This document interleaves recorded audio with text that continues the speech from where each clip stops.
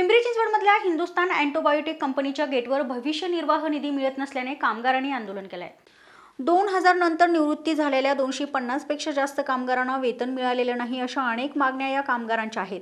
दोन हजार आठ साली या कंपनीची जागा विकायला काढली होती मात्र व्यवहार अडकला आणि होऊ शकला नाही. अनेक खासदार आमदार केंद्रीय मंत्री यांनी या कंपनीला भेट देऊनही प्रश्न मार्गी लागलेला नाही असं कामगारांचं म्हणणं आहे.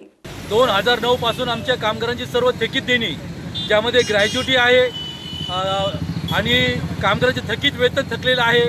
बरेच कामगारांना आज सत्तर ऐंशी वय झालेले आहेत त्या सेवानिवृत्त कर्मचाऱ्यांचे देणे थकीत आहेत.